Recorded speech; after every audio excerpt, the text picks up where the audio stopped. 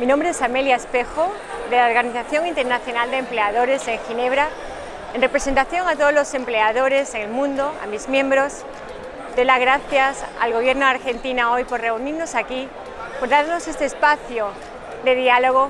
para prepararnos a esta importante conferencia mundial que será en noviembre, donde tendremos, espero, un espacio también para demostrar nuestro apoyo y nuestro compromiso por la erradicación del trabajo infantil.